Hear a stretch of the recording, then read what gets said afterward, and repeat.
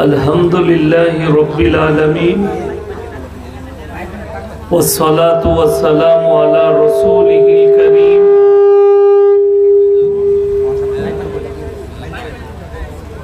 अम्मा बाद। फाउज बिल्लाहि मिनश शैतानिर रजीम। बिस्मिल्लाहिर रहमानिर रहीम। इकरा बिस्मि रब्बिकल लज़ी खलक। خلق خلق الإنسان من ألق اقرأ وربك الأكرم الذي علم بالقلم علم الإنسان ما لم يعلم وإلى مدين آخر فأعوذ بالله من الشيطان الرجيم بسم الله الرحمن الرحيم قل اللهم مالك الملك تؤتي الملك من تشاء وتنزع الملك ممن تشاء وتعز من تشاء وتذل من تشاء بيدك الخير إنك على كل شيء قدير إلى آخر الآية خيركم من تعلم القرآن علمه كما قال عليه الصلاة والتسليم মাননীয় শ্রদ্ধেহ জ্ঞানী গুণী মানি সম্মানী আজকের এই জালসার মাননীয় সভাপতি মহাশয় শ্রদ্ধের উলামা একরাম হুফাজ একরাম স্নেহের তালাবাই আজিজ আর আমার জ্ঞানী গুণী মানি সম্মানী মাননীয় শ্রোতা মণ্ডলী। পর্দার অন্তরালে পর্দা নসিব মায়েরা এবং বোনেরা। আল্লাহর বড় দয়া কৃপা ভালোবাসা আমাদের প্রতি গোটা বিশ্বের প্রতি। সবাই আল্লাহ শকর আদায় করে হৃদয় থেকে বলি আলহামদুলিল্লাহ। তারপরে পরে বিশ্ব নবী জানাবে মোহাম্মদুর রসুল আল্লাহ সকলে বলুন সাল্লাল্লাহু আলাইহি ওয়াসাল্লাম, তিনার প্রতি শতকোটি দরুদ বর্ষিত হোক, বলুন আমিন, সুম্মা গুড়ে কয়েক কথা আলোচনা করব, আমরা সকলে আমল করব, বলুন ইনশাল্লাহ বর্তমানে হিন্দুস্তানের অবস্থা বড় নাজুক। নাজুক মানে হচ্ছে সূক্ষ্ম। একটা পাতলা কাঁচ, পাতলা সুতো, সেটা ভয় থাকে ছিঁড়ে যাবার, ভেঙে যাবার। ঠিক এই অবস্থায় দাঁড়িয়েছে ভারতের অবস্থা, হিন্দুস্তানের অবস্থা। আমরা বিভিন্ন খবরের মাধ্যম দিয়ে দেখতে পাচ্ছি।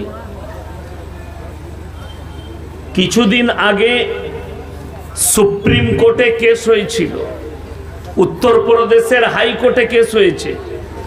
ভারতে যতগুলো মাদ্রাসা চলছে, বোর্ডের মাদ্রাসা হোক আর কওমি মাদ্রাসা হোক, যে এই খারিজি মাদ্রাসা, এইগুলো বন্ধ করা দরকার।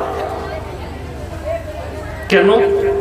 ভারতের যতগুলো মাদ্রাসা আছে মিনিমাম সত্তর লক্ষ স্টুডেন্ট পড়াশোনা করে তালবিলিম জোরে বলুন সুবহান আল্লাহ সত্তর লাখ। এইগুলোকে বন্ধ করে দাও। যাই হোক, কোর্ট খারিজ করেছে কেসটাকে যে এটা মানা গেল না। এটা আমাদের জিত, আল্লাহর তরফ থেকে বলুন সুবহান আল্লাহর তরফ থেকে জিত হয়েছে। দ্বিতীয় নম্বর, হিন্দুস্তানের মাটিতে বিভিন্ন রকমের প্রবঞ্চনা দেওয়া হচ্ছে কিছু অশুভ মানুষের দ্বারা। ইসলাম কিন্তু পরিষ্কার, পরিচ্ছন্ন, সুন্দর এবং উদারতায় পরিপূর্ণ। ইসলামে বাড়াবাড়ি নেই, মারামারি নেই, কাটাকাটি নেই, ঝামেলা নাই, ঝঞ্ঝট নেই। একটা মানুষ চোর হলে গোটা কম কখনো চোর হয় না, হয়? হবে না। একটা মানুষ খারাপ হলে তার পুরো গ্রামের মানুষ কিন্তু খারাপ হয় না। এটা মাথায় রাখবে। ব্যক্তি খারাপ হতে পারে, কম খারাপ লয় ওই জন্যে এখানে যদি কোনো অমুসলিম ভাই এসে থাকে, ইউটিউব, ফেসবুকে আমার জালসা শুনে, চলো ইয়াসিন ভাই আসছে একবার, ওখানে কি বলছে দেখে আসি। তাদেরকে আমি ওয়েলকাম জানাব, স্বাগত জানাব, সাদরে গ্রহণ করব। ইসলামের ইতিহাস শুনে যান। নবীজি সাল্লাহ আলি সাল্লামের আখলাক আর চরিত্র। কোরআনের একটা মারাত্মক ভাষা আল্লাহর উপদেশ পৃথিবীর মুসলিমদের জন্যে, মমিনদের জন্যে, অন্যদের জন্য নয়। কাদের জন্য বললাম? মমিনদের জন্যে। তোমরা কারু দেবদেবীকে গালি দিও না। কারু দেবদেবীকে গালি দিও না, সে তোমার আল্লাহকে গালি দিয়ে বসবে। আপনি যদি কারও ঠাকুরকে গালি দেন, সে আপনার আল্লাহকে দিবে না দিবে না। সাধারণত কোনো ছেলে যদি কোনো ছেলেকে মা তুলে গালি দেয়, তা সে ঘুরিয়ে দিয়ে দেয়। বরদাস্ত করতে পারে না। তো কেউ যদি কারুর ওপরে আস্থা রাখে, আল্লাহ ব্যতীত অপরের ওপরে, তোমরা তাদেরকে গালি দিও না, বরঞ্চ বুঝাও। বরঞ্চ বুঝাও। হাজরতে ইব্রাহিম নবী, তিনি গালি দেননি দেবদেবীদিকে ইব্রাহিম নবীর বাপের তিনটে কাজ ছিল, কটা বললাম? তিনটে। মূর্তি তৈরি করা, মূর্তি বিক্রি করার, মূর্তির উপাসনা করা। এই তিনটে কাজ ইব্রাহিম নবীর বাপ করতেন। ইব্রাহিম নবী নিজের আব্বা জানকে দাওয়াত দিলেন। কি বলে? ইসকাল লিয়াবিহি ইয়া আবাতি, লিমা তাবুদু মা লা ইয়াসমাউ ওয়া লা ইউবসিরু ওয়া লা ইউগনি আনকা শাইয়া। সূরা মারইয়াম কোরআন। আল্লাহ তাআলা বললেন, আমার ইব্রাহিম দাউদ দিলে হে নবী, কি বলে? আপনি যাদের উপাসনা করছেন, তারা হাত পা লাড়তে পারে না, কথা বলতে পারে না, নিজস্ব কোনো যোগ্যতা নেই। ইব্রাহিম নবী রেওয়ায়তে আছে, একটা মূর্তি ধরে ছুড়ে দিয়েছিলেন। ভেঙে চূর্ণ বিচূর্ণ। কিছুই নেই। আপনি এই শয়তানের রাস্তা ছাড়ুন আর আমার আল্লাহকে বিশ্বাস করুন। ইব্রাহিম নবী নিজের আব্বাকে এইভাবে দাওয়াত দিয়েছে এবং প্র্যাকটিক্যাল দেখিয়েছিলেন, ওটা বাপ বলে। কিন্তু গালি দেননি। আপনারা অনেকে ভাবছেন, যাদের ইমান একটু দুর্বলতা আছে, তারা শুনে যান।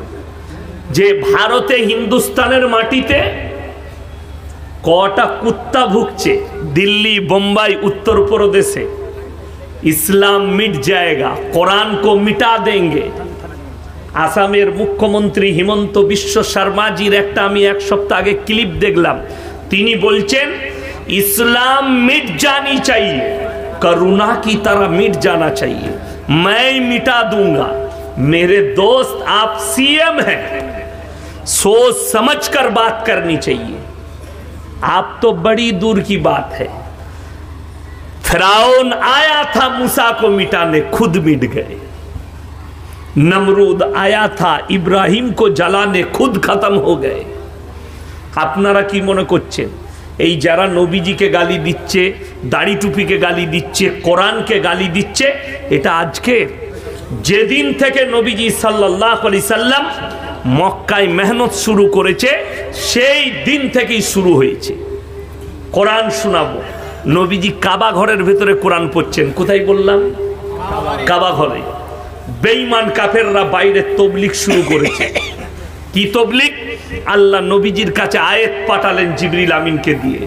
وقال الذين كفروا لا تسمعوا لهذا القرآن والغوا فيه لعلكم تغلبون হে নবী বেঈমান কাফেররা তবলিক করছে বাইরে কি বলে নবী যে কোরআন আবৃত্তি করে, সে কোরআন তোমরা শ্রবণ করো না, হাততালি মারো আর কানেতে আঙ্গুল দাও।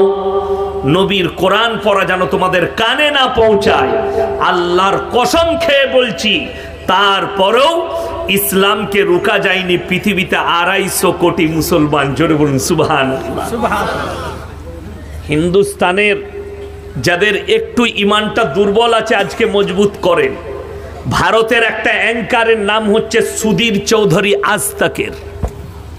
সে তার ল্যাবরেটরিতে একজন বাবাকে ডেকেছে। বাবার নাম হচ্ছে বাগেশ্বর ধাম বাবা। লোকের কুণ্ডলি বলে দেয়। এখন আমাদের কিছু মানুষের ধারণা, আপনি চলুন, হাওড়া স্টেশনে কোনোদিন নেমেছেন না নামেননি? যারা গেইছে তারা জানে। এক নম্বর প্ল্যাটফর্ম দিকে যখন হাওড়া ব্রিজের দিকে উঠবেন, ওই যখন নামছেন সিঁড়ির গায়ে, চট বিছিয়ে বসে আছে, ছিঁড়া চট, এতারচি খুলেছে। তাদের কাছে একটা কাগজ নামানো আছে, লোকের হাত দেখে তার ভাগ্য বলে, ছিঁড়া চট বিছিয়ে। আর তাদের কাছে আংটির পাথর আছে, অনেকগুলো। মাথায় তেল লাগাইছে, সরষের তেল, সাবন কেনার পয়সা নাই। সারাদিন হারামখোর খেতে পাই না। দুটো আংটির পাথর বিক্রি হলে হাওড়া ব্রিজে আপনার স্টেশনের গঙ্গার কিনারায় কুড়ি টাকায় তিনটে রুটি আর সবজি পাওয়া যায়। কুড়ি টাকায় তিনটে রুটি আর সবজি ঠেলার ওপরে বিক্রি করছে। ওইটা খেতে পায়। বর্ধমান থেকে দুটো লাইনে হাওড়া ঢোকা যায়। ম্যান লাইন, কড লাইন, দুদিকে। একটা হাইওয়ের দিল্লি রোডের ডাইনে, একটা বাঁয়ে কলকাতায় ঢুকছে, হাওড়ায়। বর্ধমান থেকে চাকরি করে, এক লাখ বেতন পায় কলকাতায়। পঞ্চাশ হাজার বেতন পায় প্রফেসর, এক লাখ কুড়ি হাজার বেতন পায় ডাক্তার। হাওড়া স্টেশনে নেমে হাত দেখাচ্ছে। দেখুন দেখিনি, আমার কি গোলমাল? ওরে বাপরে, বিরাট গোলমাল তো। তোমার প্রমোশন আটকে আছে, তোমার ভাগ্যটা একটু খারাপ যাচ্ছে, তোমার ছেলে হয়নি। ঈদেলা সাল সবই মিলে গেছে। কি করব? এই আংটির পাথরটা নিয়ে যাও, তোমার ভাগ্যটা ফিরে যাবে। কত দাম? ছশো এক টাকা। মাল কিনে নিল। আমি খালি অবাক হয় যে লিখছে সে এক লাখ বেতন পায়। যে দিচ্ছে সে ছিঁড়া চটে বসে আছে। একবারও জিজ্ঞেস করছে না, এই ভাগ্যের পাথরটা তোর গলায় বাং কাল থেকে মমতা খালার পাশে থাকবি। কথাটা বুঝতে পারেনি আমার? ভাগ্যের পাথরটা কার প্রয়োজন? যেমন আমাদের দেশের লোক আমাদিকে এসে বলে, হুজুর, একটা বরকতের তাবিজ দেন তো। তাইলে আমার বেতন পাঁচ হাজার আর তুমি প্রত্যেক দিন দোকানে পঞ্চাশ হাজার টাকা রোজগার করো, তাবিজটা তোমার প্রয়োজন না আমার? কথা বলে না? আমার প্রয়োজন যে তাবিজটা আগে আমাকে না আমার বরকতটা কি করে আসবে? কিন্তু দুঃখের বিষয় হুজুরকে বলছে হুজুর আপনি তাবিজ দেন। যদি তাবিজে বরকত হতো তো বর্ধমানের রাইস মিলের মালিক তো আমরা বাপ বেটা হতাম। মার তাবিজ আর টেনে এলে মাল। কথাটা বুঝতে পারছি কিন্তু ওটা তো নয়। বরকত আপনি পাবেন নাম্বার ওয়ান আপনাকে নামাজি হতে হবে। সবাই হব জনে বলুন ইনশাল্লাহ তো বাবা বাগেশ্বর ধাম তিনি কুণ্ডলি বলে দিচ্ছে মানুষের চেহারা দেখে। তোমারা বাপ কা নাম ইয়ে হ্যাঁ তোমারা ঘর ইধর হ্যাঁ তোমারা ইয়ে বিমারি হুই হ্যাঁ তুম ইস বজে সে আমারে সামনে আয়ে হো। আমি সেদিনে দেখলাম একটা মুসলিম ফ্যামিলি আমাদের মতো টুপি লাগিয়েছে একটু এই ভাইয়ের মতো দাঁড়িয়ে আছে লোকটা উত্তরপ্রদেশের প্রদেশের বাবা हम आपको बहुत मोहब्बत करते हैं आप पर फिदा है आपके पास ऊपर वाला का शक्ति है এরা বলছে আমাদের মৌলবীরা তো কিছুই জানে না বাবা বলে দিচ্ছে আরে মূর্খ মুসলমান শুনে যাও এই বাবা বাগেশ্বর ধাম কুণ্ডলি বলে দিচ্ছে বহু মুসলমান ইমান হারাচ্ছে তোমরা তো শুধু বাগেশ্বর ধামকে দেখলে। আগামীতে যখন দাজ্জাল আসবে, মেঘ থাকবে না, বৃষ্টি বর্ষণ করে দেখাবে, মৃতকে জীবিত করে দেখাবে, তখন তোমরা তোমাদের ইমান কোথায় রাখবে? বাগেশ্বর ধাম বাবাকে ল্যাবে ডেকে বলছে, বাবা, আপকো এক আকড়া শোনাएंगे যারা ভাবছেন ইসলাম মিটে যাবে, যারা ভাবছেন কোরআন মিটে যাবে, তারা ভালো করে শুনেন। কে শোনাচ্ছে? একজন অ্যাঙ্কার সুদীপ চৌধুরী। বাবা কিয়া হ্যাঁ তিনি কাগজ বার করলেন। দো হাজার পনেরো সে দো হাজার একুশ তক। দু হাজার পনেরো থেকে দু হাজার একুশ ক বৎসর হচ্ছে মাত্র ছ বৎসর। ছ বৎসর। এই ছ বৎসরের ভেতরে কতগুলো অন্যান্য ধর্মের মানুষ ইসলাম কবুল করেছে? কতগুলো অন্যান্য ধর্মের মানুষ সনাতন ধর্ম কবুল করেছে? বাবার কাছে যখন আঁকড়া চাওয়া হচ্ছে বাবা তখন বললে সেই রিপোর্টার বলছে যে 2015 से 2021 तक तेरह लाख लोगों ने इस्लाम को कबूल किया জোরে বলুন সুবহান তেরো লাখ ছ বছরের ভেতরে অন্যান্য ধর্মের মানুষ ইসলাম কবুল করেছে আর মাত্র তিরিশ হাজার লোক ছ বছরের ভেতরে অন্যান্য ধর্ম থেকে সনাতনে গেছে তার মধ্যে এক হারামের আওলাদ আছে ওয়াসিম রিজবি। তার মধ্যে আর এক হারামের আওলাদ আছে নাজিয়া ইলাই খান কলকাতা, যে প্রতিনিয়ত ইসলামকে গালি দিচ্ছে। কষ্টটা ওই জায়গায় লাগছে। যারা নেতা থাকবে মুসলিমদের, যারা পার্লামেন্টে যায় মুসলিম নেতারা, যারা রাজ্যসভায় আছে তারা যদি আর প্রতিবাদ না করে, আল্লাহর কসম খেয়ে বলছি, এদিকে কেয়ামতের দিন আল্লাহ ডার করাবে। রেহাই পাবে না। কোরআনকে গালি দিচ্ছে, ইসলামকে, রসুলকে গালি দিচ্ছে, মুসলমানকে গালি দিচ্ছে। অথচ, ভাই, এত কথা বলবেন না, এখানে আমার ডিস্টার্ব হচ্ছে। প্লিজ আমার ভাই আপনাদিকে অনুরোধ করছি আজকে এতগুলো মুসলমান বসে আছেন নারী পুরুষ এই থানাটা কোন থানা? ডালখোলা। ডালখোলা থানা। আমি ডালখোলায় আর আগে ট্রেনে নেমে জলসা করেছি আগের বৎসরে এক জায়গায়। এই ডালখোলা থানায় যদি এই মলবিদিকে বলি আপনারা সমীক্ষা করুন কত পার্সেন্ট মুসলমানের কাছে দিনই শিক্ষা আছে? আমার মনে হয় পঁচাশি পার্সেন্ট মুসলমানের কাছেও দিনই শিক্ষা নাই। ঠিক বললাম না ভুল বললাম? কষ্টটা কোথায়? অথচ আপনি জানেন, প্রত্যেকটা মুসলমান নরনারীর জন্য দিনী শিক্ষা অর্জন করা ফরজ। আপনাদের দক্ষিণ দিনাজপুরে ছিলাম আমি এক সপ্তাহ আগে। তো তাদের মাদ্রাসার বাচ্চা ইংলিশে বক্তব্য দিল, কেউ উর্দুতে দিল।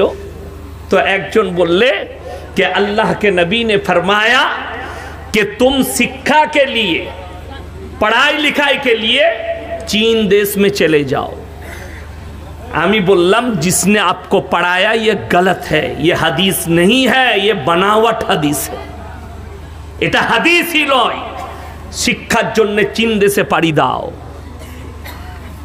আল্লাহ নবী সাল্লাহ আলি সাল্লাম যেটা ফরজ করেছেন দিনই শিক্ষা কি শিক্ষা বললাম দিনই শিক্ষা আর যে দুনিয়াবি শিক্ষাটা আপনি দিনের খিদমতে করবেন ওইটাই কামিয়াব হবে ডাক্তার হবেন আপনি দিনের খিদমতের জন্যে।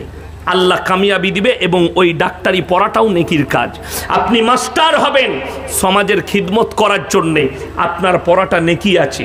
আপনি প্রফেসর হবেন সমাজের খিদমতের জন্যে নেকি আছে।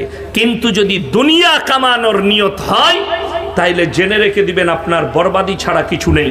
আপনার ছেলে ডাক্তার হোক, মাস্টার হোক, প্রফেসর হোক, ইঞ্জিনিয়ার হোক, আইপিএস হোক, নেতা হোক, মন্ত্রী হোক, এমএলএ হোক, এমপি হোক, রাজা হোক, বাদশাহ হোক, আল্লাহর কসম খেয়ে বলছি, তার কাছে যদি দিন না থাকে, আমার আল্লাহর কাছে কোনো মূল্য নাই। নট মূল্য, সে হচ্ছে একটা চতুষ্পর জন্তুর মতো আমার আল্লাহর কাছে। আর আপনাদিকে বলে যায় কে কি জাল ছুটছে কে কি খপ্পর দিচ্ছে, খপ্পরে পড়বেন না। কেন? আল্লাহ কোরআনে বলেছে, ইন্নাল্লাহ ইন্দাহু আলাল ইসলাম। আল্লাহর কাছে যেটা গ্রহণযোগ্য রাখে যে ধর্ম, সেটা একমাত্র ইসলাম। সবাই বলুন, এইখান থেকে বেরুবো না, সকলে জোরে বলুন ইনশাল্লাহ দিল আর দিমাকে তীরের মতো গেঁথেলেন যে আল্লাহ আমাকে মুসলমান করেছে, এটা আল্লাহর কৃপা। আল্লাহ আমাকে মুসলমান করেছে আল্লাহর কৃপা।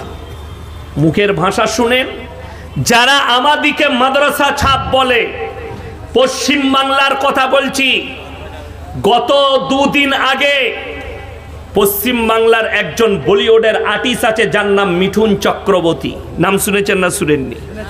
তিনি বক্তব্য দিয়েছেন, বক্তব্য দিয়ে বলেছেন যে তিয়াত্তর পার্সেন্ট মুসলিম আছে মুর্শিদাবাদে। সে বলেছে, এই তিরিশ পার্সেন্ট হিন্দু আছে আর তিয়াত্তর পার্সেন্ট মুসলিম, এদিকে সব ভাগীরথীতে কেটে ঢুকিয়ে দেবো। শুধু তাই নয়, বলে ভাগীরথী নয়, এদের মাটিতে এদিকে পুঁতে দেবো, ভাগীরথীকে গঙ্গাকে অপবিত্র করব না। এটা যদি একটা নেতার ভাষা হয়, একটা আর্টিস্টের ভাষা হয় জেনে রেখে দিবেন ও কতটা নোংরা জগতে বাস করছে।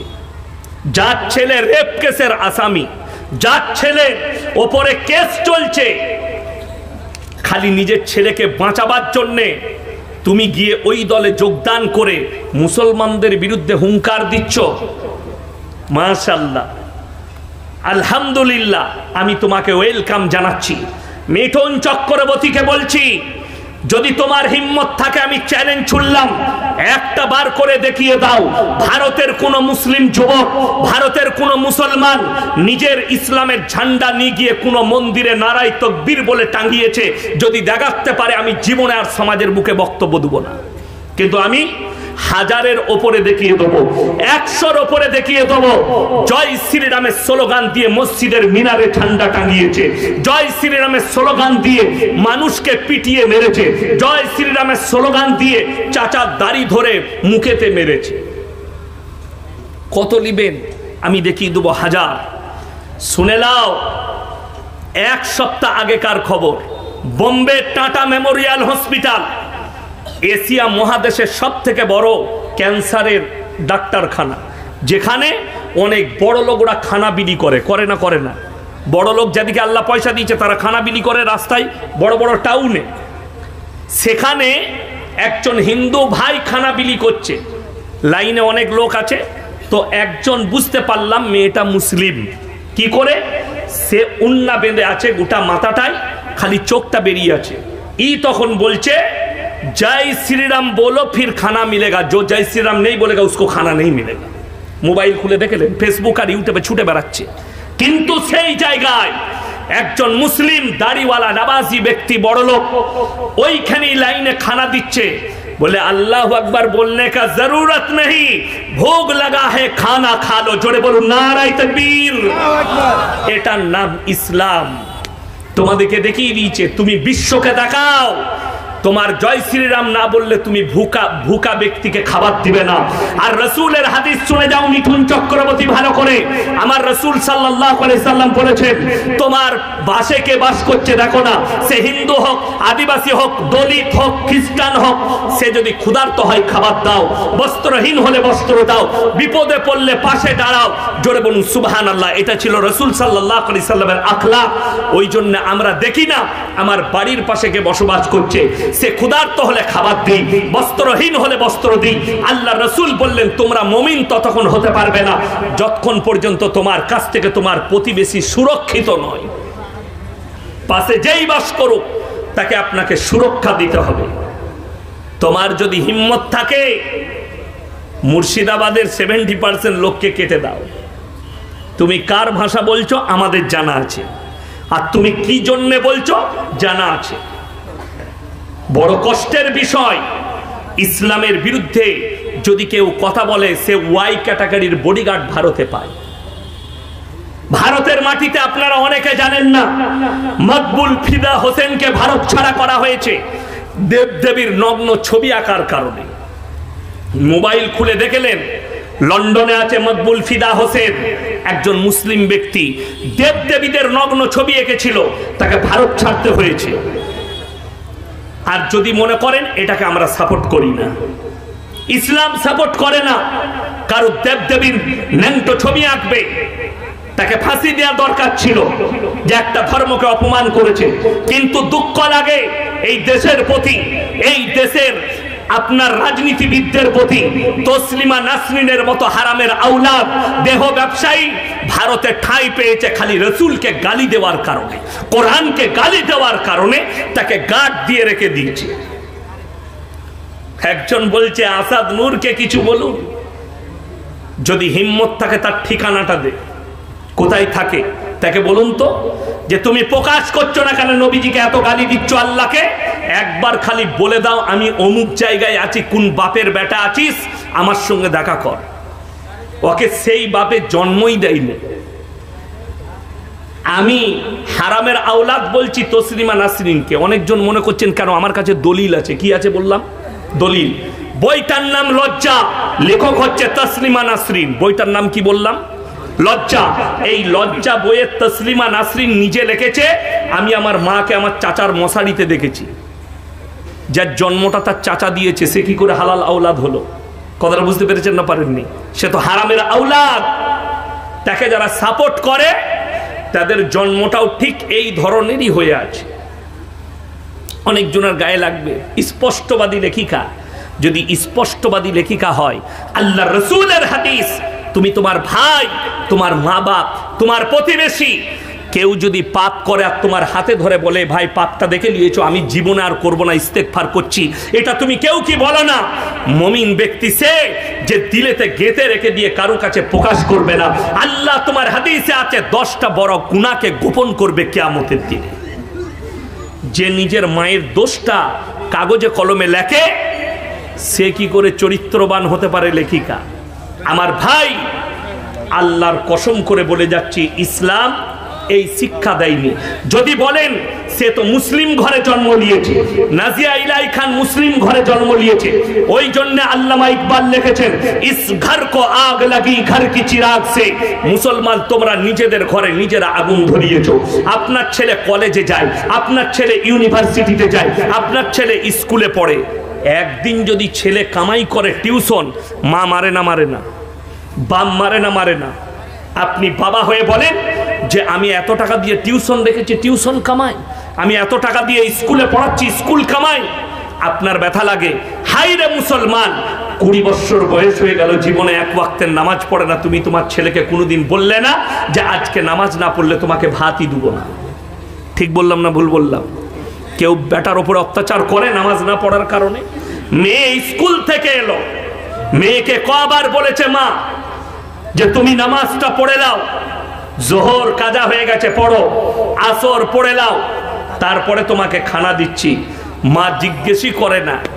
মেয়ে খানা খেতে বসেছে তো মোবাইল, মেয়ে শুচ্ছে তো মোবাইল, মেয়ে বসে আছে তো মোবাইল। মোবাইলে আসক্ত হয়ে গেছে। কেন? বেঈমান কাফেররা জাল ছুড়েছে আপনার উপরে। আপনি সেই জালেতে ফেসে গেছেন। আমাদের কম ফেসে গেছে। এই জাল থেকে বেরোনো বড় মুশকিল হয়ে দাঁড়িয়েছে। বড় মুশকিল। কেন? বেঈমান কাফেরদের মেহনতি হচ্ছে। এদিকে কোরআন থেকে বিচ্ছিন্ন করে দাও। রসুলের হাদিস থেকে বিচ্ছিন্ন করে দাও। এদিকে উলামা থেকে বিচ্ছিন্ন করে দাও। এদিকে মাদ্রাসা, মসজিদ থেকে বিচ্ছিন্ন করে দাও। আমার বর্ধমানের কথা বলছি। আমার এক ছাত্র ইমামতি করে। আমি বললাম, মসজিদে কটা মুসল্লি? বলছে, হুজুর দুটো। দুটো কি রে? হ্যাঁ ফজরের সময়? বলে, ফজরের সময় একজন আসে, আর শীত পড়ে গেলে কেউ আসে না, আমি একা এটা বাস্তব বলছি। ফেসবুকের দেখবেন, ফেসবুকের মুসলমান আলাদা, আর অরিজিনাল মুসলমান আলাদা। ফেসবুকের মুসলমান নামাজ এক ওয়াক্তের পড়ে না, কিন্তু ফেসবুকে লেখছে, আমাদের বুকটা ফেটে গেল, বাবরি মসজিদ ভেঙে গেল। তুমি কাঁদছো বাবরির জন্য আর তোমার মসজিদ কাঁদছে, তোমার জন্য তুমি জীবনে নামাজ পড়তে যাও না। এটাই হচ্ছে দুঃখের, এটাই হচ্ছে বেদনা। অথচ রসুল সাল্লাহ আলি সাল্লামের হাদিস, যার নামাজ নেই, তার মধ্যে ইসলাম নেই। যার নামাজ নেই, তার মধ্যে ইসলাম নেই। আমাদের দেশের অনেক লোক আছে, জানেন, ভালো লোক? কেমন ভালো লোক? তারা বলে, আমরা নামাজ না পড়তে পারি, আমার মতো ভালো লোক গিরামে নাই। এরকম মাল আছে না নাই? গাধা আছে। নামাজ পড়ে না, কিন্তু বলে, আমার মতো ভালো লোক পাবি না। তাদের জন্য মারাত্মক কোরআনের উপদেশ। যারা এটা ভাবেন, বাস্তব কথা বলে যাচ্ছি, এমন লোক আছে, সব ভালো কাজ করেছে, কিন্তু জীবনে নামাজ রোজা করে না। কথাটা বুঝতে পেরেছেন না পারেননি? নামাজ রোজা করে না। আপনারা জানেন অনেকজন ভাবে, আমি কেন বলি শাহরুখ খানকে মুসলমান বলা যাবে না, সালমান খানকে মুসলমান বলা যাবে না, তারা মুশরিক। যদি বলেন কেন? আশা করি বলিউডের যতগুলো নায়ক আছে সব থেকে দিলদরিয়া লোক হচ্ছে সালমান খান। সে একশো টাকার মধ্যে নব্বই টাকা তার চ্যারিটিতে খরচ হয়। কোনো বাচ্চার যদি ব্লাড ক্যান্সার হয়, তার চ্যারিটিতে চলে যাবেন মুম্বাই এক টাকা আপনার খরচ নাই, আপনার যাতায়াতের খরচটাও তার। ফিরি। কিন্তু মুসলমান বলা যাবে না। মুর্শিদি, যদি বলেন এত ভালো কাজ করছে এর বদলা এর বদলা দুনিয়াতেই পাবে। আল্লাহ তাদেরকে দুনিয়াতেই দিয়ে দিবে। ঈশ্বরচন্দ্র বিদ্যাসাগর, ভালো মানুষ না খারাপ? ভালো মানুষ। কবিগুরু রবীন্দ্রনাথ ঠাকুর, ভালো মানুষ। স্বামী বিবেকানন্দ, ভালো মানুষ। বঙ্কিমচন্দ্র, শরৎচন্দ্র, যারাই আছেন, কবিরা ভালো মানুষ। তারা কারও ক্ষতি করেনি, বহু মানুষের উপকার করেছে, ভদ্রলোক ছিলেন। যদি বলেন তারা কেয়ামতের দিনে কি হবে, তারা যে ভালো কাজ করেছে তার বদলা আল্লাহ দুনিয়াতেই দিয়েছে। তাদের মৃতবর্ষিক পালন হয় হয় না হয় না। তাদের জন্মদিন পালন হয়। তাদের ছবিগুলো স্কুল কলেজের হেডমাস্টারের মাথার উপরে টাঙানো আছে। ঠিক বললাম না? কেয়ামতের সকাল পর্যন্ত লোক সম্মান করবে এটাই হচ্ছে তাদের বদলা। কালমা না পড়ার কারণে তাদের দুনিয়া এবং পরকাল দুটোই অন্ধকার।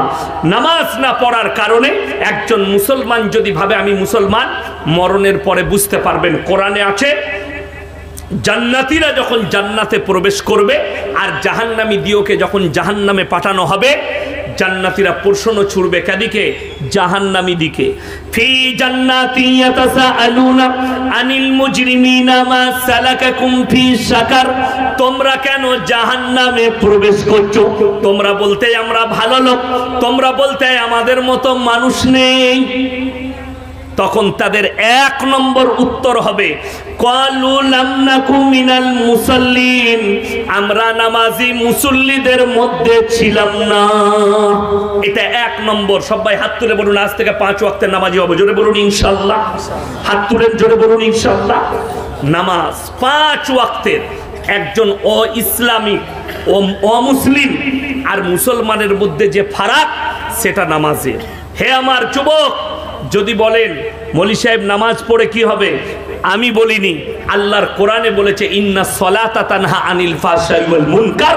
নিশ্চয় নামাজ এমন ইবাদত। মানুষ যখন নামাজ পড়তে লাগে, অশ্লীল কাজ থেকে সরিয়ে ভালো কাজের দিকে নিয়ে আসে। কিন্তু বড় কষ্টের বিষয়, দুঃখের বিষয়, আমাদের বেশিরভাগ লোক বেনামাজি। যেমন বলে দিই, আমাদিকে বলে, মলি সাহেব, আপনাকে খুব ভালোবাসি। কাল দিয়ে কালকে খানিক ছেলে মালদায়। এ, আপনার সেলফি লুবো। চলতে চলতে ফটো নিচ্ছে। ওই জন্য আমি এখনই ড্রাইভারকে বলে এলাম, স্টেজের কাছে গাড়ি নিয়ে পালিয়ে আসবে। হেঁটে অত দূর গেলে আমাকে জ্বলাবে। চুল কেটেছে শুয়োরের মাথার মতো, আর ফটো নিচ্ছে আমাদের। ঠিক বললাম না ভুল বললাম? বলছে, মলি সাহেব, আপনাকে খুব ভালোবাসি। হবে আমাকে ভালোবাসলে তো আমার মতো চুল রাখবি। আমাকে ভালোবাসলে তো আমার মতো পোশাক পরবি। মুখেতে ভালোবাসা আর চলাফেরা হারাম খদ্দের মতো। বলছে হুজুর আপনাকে খুব ভালোবাসি। ভালোবাসা কি? আমি মুর্শিদাবাদে পাঁচ বছর আগে জলসা করতে যাচ্ছি ডোমকলে এক জায়গায় পিসাব করতে দাঁড়িয়েছি। একটা ছেলে হাফ কিলোমিটার গিয়ে বাইক নিয়ে ঘুরে এলো। সে দাঁড়িয়ে আছে আমার ড্রাইভারের কাছে। হুজুর পিসাব করে এলি, ফটো তুলবো। ফটো তুলতে এসছে। আমি আমাকে খুব ভালোবাসো, জি। হুজুর, খুব মহব্বত করি। আর প্যান্ট পড়েছে ছিঁড়া। হ্যাঁ? এখন তো বিপদ। বেঈমান কাফেররা এমন জাল বিছিয়েছে। আপনি বলছেন, আমি ইসলামকে মহাব্বত করি। এই মলবিদিকে ফলো করতে পারলেন না আপনি। আপনার মুখেতে দাঁড়িয়ে এলো না। আপনার শরীরে ইসলামিক পোশাক এলো না। আপনার কালচারটা ইসলামিক এলো না। কেন? বেইমান কাফেররা ঢেকে ফেলেছে। আখরি জামানায় এমন একটা জামানা আসবে। রসুল সাল্লাহ আলি সাল্লাম বলেছেন যে পূর্ববর্তী যুগের ওই বর্বরতার যুগের পাপগুলো মডেলিং বলে চলে আসবে। আজকে ছোট পোশাক পরাটা আমাদের দেশের মহিলারা মনে করেছে এটা মডেলিং। ঠিক বললাম না ভুল বললাম? ছোট পোশাক পরা। ছোট প্যান্ট পরছে, টিকটক করছে, গান করছে, আবার কিছু মেয়েকে দেখছি, হিজাব করে আসসালাম আলাইকুম আল্লাহ নবী বলেছে আল্লাহ নবী বলেছে, তুই জাহান নামে আগে যাবি। খালি ওই ভিডিওটা ছাড়ার কারণে। টিকটক। কোথা থেকে পেলি? কে বলল? বড় কষ্ট লাগে। আগে আপনাকে ভাবতে হবে। আগে আপনাকে ভাবতে হবে, মলবির বিবি যদি টিকটক না করে, তা আমার বইয়ের জন্য জায়েজ কি করে হবে? কথাটা বুঝতে পারেননি? মলবির বিয়েতে যদি গান বাজনা না হয়, তাহলে আমার বিয়েতে কি করে হবে? আপনাকে ভাবতে হবে। আপনি ওটা ভাবেন না। আপনি মনে করেন মলবি বলছে আর কি সব কথা কি শুনতে হবে নাকি বলতো? সমাজও কিছু মানতে হবে। আর সমাজ মানলে তোর কাছে মদটাও জায়েজ হবে। যেমন আমাদের দেশের বহু লোক আছে, সকালবেলায় বিড়ি না খেলে হাগাই হয় না। ঠিক বললাম না ভুল বললাম? মসজিদের পায়খানা করে হারাম করে বিড়ি খাচ্ছে। উ বেরিয়েছে, ইমাম ঢুকেছে, ইমামের বমি হয়ে গেছে। গন্ধ জিজ্ঞেস করুন সমাজের লোককে, আমি সেদিনে জিজ্ঞেস করেছি মুর্শিদাবাদে। এ বাবা, কাঁচা পেঁয়াজ খেয়ে মসজিদে যাওয়া যাবে? আপনারা কি বলছেন, যাবে? যাবে না। আপনি কত সুন্দর উত্তর দিলেন। না, যাবে না, কাঁচা পেঁয়াজ খেয়ে। কেন? মুখে দুর্গন্ধ হবে। আল্লাহ নবী বলেছেন, তোমার পাশের লোককে তুমি কষ্ট দিও না। আর বিড়ি, সিগারেট, গুটকা খেলে আতরের মতো সেন করবে, তাই তো? বিড়ি, সিগারেট, গুটকাখোর যারা আছে সব থেকে প্রথম কষ্ট তারা যাকে দেয়, সেটা হচ্ছে তাদের অর্ধাঙ্গিনী, তাদের বিবিকে। তাদের বিবি কষ্ট পায়। তুমি একবার তোমার বউকে জিজ্ঞেস করবে আচ্ছা আমি তো বিড়ি খাই আর গুটকা খাই, তোকে কীরকম লাগে? ও মনে মনে করবে, হারাম কর, তুই চুমু খেলে মনে হয় তোর মুখে জুতো মারি। কিন্তু কিছু করতে পারবে না, স্বামী তো, কি করবে? আমাদিকে খারাপ লাগে। হাই আল্লাহ, মুসলমান। এই যে পানির বোতলটা দেন তো আমাকে। এই যে পানির বোতল দেখছেন, এইটাই ইনারা লিখে দিয়েছে, বিষ মিশানো আছে, আপনি খেলে মারা যেতে পারেন, এটা আর খাওয়া যাবে? কথা বলে না? খাওয়া যাবে না। আচ্ছা বিড়ি, সিগারেট, গুটকার প্যাকেটে লেখা আছে না নাই? ক্যান্সারের ক্যান্সারের কারণ হানিকারক? লেখা আছে। আপনি জেনে শুনে এটা শ্রবণ করছেন মানে হারাম কাজ করছেন। আল্লাহর কাছে বড় হিসেব দিতে হবে আপনার শরীরের জন্যে। যারা এই সমস্ত শ্রবণ করে ক্যান্সারের ঝুঁকিতে পড়ে, আল্লাহর কাছে হিসেব দিতে হবে। আপনার জানাই নেই, ইসলাম সম্পর্কে। ডাক্তারে যদি বলে, তোমার জীবনে ঝুঁকি আছে, তুমি গরুর মাংস আর খাসির মাংস খেতে পাবে না, তোমার জন্য নেকির কাজ ওটাই যে ওগুলো না খাওয়া। জানা আছে? কিন্তু তুমি জানো আল্লাহ যে জীবনটা দিয়েছে কত মূল্য। কত মূল্যবান জীবন, এটা আপনার জানা নেই। আপনার কাছে হিসেব দিতে হবে আপনার এই শরীরের জন্যে। মানুষ কিন্তু শ্রবণ করছে কেন? আপনাদের মধ্যে কে কে জানেন না? মদ খাওয়া হারাম, হাত তুলেন তো। সবাই জানে না জানে না মদ খাওয়া হারাম? সবাই জানে। গাঁজা খাওয়া হারাম কে জানে না? আর আপনাকে আমি এই উত্তর দিনাজপুরের ডাল খোলাই দেখিয়ে দেবো। মুসলমান মদ খাচ্ছে, মদ বিক্রিও করছে। ঠিক বললাম না ভুল বললাম? ইসমিল্লা মুসলমান গাঁজা খাচ্ছে, গাঁজা বিক্রিও করছে। লটারির টিকিট হালাল না হারাম? আপনাকে আমি ডাল খোলাই দেখিয়ে দিব, মুসলমান বিক্রিও করছে, মুসলমান কাটছে। আবার বেশি, মুসলমান বেশি লটারি কাটে। দেখছেন না, বাংলাদেশের একটা চাচা গত বৎসরে, কি? আল্লাহ গো, এক ঘর কেটেছি আল্লাহ, এক কোটি ফেলি দিও, আমি জীবনে আর করব ই কি দোয়া? হারাম জিনিসের লেগে আল্লাহর কাছে দোয়া? লটারি কেন হারাম? ভাগ্যের মালিক সকলে বলুন কে? আরও জোরে বলুন কে? যদি ভাগ্যের মালিক আল্লাহ হয়, তুমি লটারি কেটে ওই কাগজের দ্বারা ভাগ্য পরীক্ষা করছ, ওই জন্য হারাম এবং তোমার ইমান চলে যাবার কারণ হতে পারে। ইমান ধ্বংস হয়ে যেতে পারে যে লটারির মাধ্যম দিয়ে। লটারি যদি হালাল হতো, আমাদের সমাজে সব থেকে বেতন কম কার? কথা বলে না? ইমাম আর মৌলবি সাহেবদের। তো সব থেকে প্রথমে তো লটারি আমরা কাটতাম। একটা কেটে নিই। যদি এক কোটি পড়ে যায় আর মসজিদে থাকব না। কথাটা বুঝতে পারেননি? আমরা কাটি না, এত কম বেতন হওয়ার পরেও তুমি কুড়ি হাজার রোজগার করো, তারপরেও তোমাকে লটারি কাটতে হয়। তুমি হালাল ভেবে নিয়েছো, অথচ সেই লোক জুম্মার দিনে আতর লাগিয়ে ফাঁস কাতার এই চৌ খুদবা শুনবে। তুই ঝাঁটা খাবি কবরে রেডিও কবরে যা বুঝতে পারবি! এই যেমন আমাদের দেশে তিনটে কোয়ালিটির নামাজি আছে। কটা বললাম? তিনটে। এক হচ্ছে পাঁচ ওয়াক্তের, দুই হচ্ছে জুম্মার, আর তিন হচ্ছে ঈদ আর বাকরা ঈদের। এই তিনটে নামাজি। দেখবেন, ঈদের দিনে লাফাই বেশি কারা? যে মাল জীবনে নামাজ পড়ে না সে। হ্যাঁ? গলায় একদম শ্বশুর একটা তোয়ালি দিয়েছে লেফটে চলে গেছে। হাজি সাহেবের পাশে দাঁড়িয়েছে। হাজি সাহেব মনে মনে ভাবছে, এত পরেজগার লোকটা কোথায় ছিল বে? হ্যাঁ ও জীবনে নামাজ পড়ে না।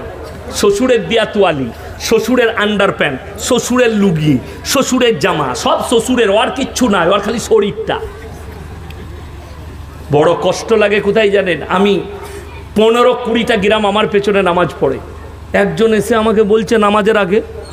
হুজুর, নিয়তটা বলে দিবেন তো আমি নিয়ত নিয়ে কি করবি বে? আমি দরুদ শরীফ জানো? জি না। আত্মা তুই জি না। আমি সানা? বলে না। আমি তুই কিছুই জানিস না নিয়ত নিয়ে কি করবি? তুই তো কাল আজ জোহর থেকে নাই। তো বলে কি করব? আমি আমি যেরকম মাথা ঠুকবো তুই ওরকম ঠুকে দিবি হয়ে যাবে আমরা হ্যাঁ হয়ে যাবে। আর তুই না ঠুকতে পারলেও কোনো অসুবিধা নাই। কি বুঝলি ওই জন্যে তো খালা নিয়ত বেঁধেই দেখছে। পাশে হাজি সাহেব সানা পড়ছে। ইউ দেখছে হাজি সাহেব কি পড়ছে? হাজি সাহেব মনে মনে করছে "শালা, আমার থেকেও বড় জাননেওয়ালা কিন্তু কিছুই পড়ে নাই মাল জানলে তো পড়বে। এই এক নামাজি আল্লাহ এদেরকে কেয়ামতের দিনে কঠিন আজাবে মুক্তালা করবে। তুমি জানার অপেক্ষা মনে করো না। আমাদের দেশে মানুষ জেনে শুনে কীভাবে পাপে লিপ্ত হয়। এলান হয়েছে জোহরের পরে জানাজা হবে। এই হাড়ভাঙ্গা গ্রামে একজন মারা গেছে। বললেন জোহরের নামাজের পরে জানাজা হবে। কিছু লোক আছে উজু করে দাঁড়িয়ে আছে আর পাঁচ ওয়াক্তের নামাজিরা মসজিদে নামাজ পড়ছে। ও হারামখোর খালি জানাজা পড়বে। এ মাল আছে না নাই? আচ্ছা বলুন তো কেউ যদি জানাজার নামাজ ছেড়ে দেয় গুণা আছে? গুণা নাই। কিন্তু কেউ যদি জেনে শুনে উজু করে দাঁড়িয়ে থেকে ফরজ নামাজ ছাড়ে গুনায়ে কবিরা আল্লাহর কাছে হিসেব দিতে পারবে না। ঠিক বললাম না ভুল বললাম? বড় কষ্টের বিষয়। ই তো নামাজই পড়ে না। আর নিজেকে মুসলমান বলে দাবি করছে যে আমার মতো আশিকে রসুল কেউ নাই। তুমি নবীকে মাহাব্বত করো, অথচ তোমার জীবনে এক ওয়াক্তের নামাজ নেই। তুমি আল্লাহর কাছে কীভাবে দাঁড়াবে? অথচ রসুল সাল্লাহ আলি সাল্লাম বোখারি শরীফের হাদিস, আল্লাহ রসুলের ওয়াফাতের হাদিস, নবীজি সাল্লাহ আলি সাল্লাম আখরি জিন্দগির আখরি ওয়াক্তের নামাজ রেওয়ায়তে আছে। দুজন সাহাবীর কাঁধে হাত রাখালেন, নবীজি অসুস্থ, পাটা ছেঁচুড়ে ছেঁচুড়ে মসজিদে নবীতে দাঁড় করালেন, নবীজি নামাজ আদায় করলেন। নবীজির নামাজ মাফ হয়নি আর তুমি হারাম করে বলছো, নবীজিকে ভালোবাসি, জীবনে নামাজ পড়ো না। তুমি নিজের এই অন্তরকে জিজ্ঞেস করো যে তুমি সত্যিকারী ইমানের উপরে টিকে আছো নাকি আমি বলতে যাব না, তুমি সবাই নিজের হৃদয়ের খবর জানবে। যে আমি কতটা ইসলামকে মেনে চলি, আপনি হৃদয়কে জিজ্ঞেস করুন। কোরআনে আছে অমাল হায়াতুদ দুনিয়া ইল্লা মাতা উল গুরুর। আজকে আমি যে গাড়িটা চেপে এসেছি এটা আমার অরিজিনাল গাড়ি নয়। এটা আমার অরিজিনাল গাড়ি নয়। আমার আসল গাড়ি হচ্ছে জানাজার খাটটা। আমাকে যে দেখতে পাচ্ছেন, পোশাক পরে আছি আমরা। এই পোশাক অরিজিনাল নয়। মরে যাওয়ার পরে পোশাক খুলে দিয়ে আমার অরিজিনাল পোশাক হবে কাফনটা। আপনি যে বাড়িতে এসি চালিয়ে থাকছেন, ফ্যান চালিয়ে শুচ্ছেন, লেপ ঢাকা দিয়ে শুচ্ছেন এই বাড়ি আসল নয়। আপনার অরিজিনাল বাড়ি হচ্ছে কবরটা। এই তিনটে জিনিস মাথায় করে চিন্তা করবেন, আমি চলে যাওয়ার পরে যে আমার অরিজিনাল বাড়ি এটা নয়, আমার অরিজিনাল বাড়ি কবরটা। আমার অরিজিনাল পোশাক এটা নয়, অরিজিনাল পোশাক হচ্ছে আমার কাপড়টা অরিজিনাল আমার গাড়ি, এই রেল, ট্রেন, প্লেন নয়, আমার অরিজিনাল যাবার গাড়ি হচ্ছে আমার কাঁধের চার পায়াটা খাটটা যেখানে আমার লাশ যাবে কোরআন বলছে ওবাল হায়াতুদ দুনিয়া ইল্লা মাতাউল গুরুর। এই দুনিয়াটা সম্পূর্ণ ধোকা। তোমরা ধোকার মধ্যে পড়ে আছো। যেদিনে তুমি মারা যাবে, তোমার ধোকা সেই দিনে খুলে যাবে। বেঈমান কাফেররা যে মেহনতটা শুরু করেছে, যে পুরনো যুগের পাপগুলো এদের কাছে মডেলিং বলে ফেলিয়ে দাও। আজকে মুসলমান জিনা করছে। কারা করাচ্ছে? ইহুদি, নাসারা, বেঈমান কাফেররা। অথচ আমরা জানি না যে এগুলো জিনার কাজ। আমি কালকে জলসাই বলেছি, তারা নাম রেখেছে ভ্যালেন্টাইন ডে। কাজ কিন্তু হচ্ছে জিনা করা।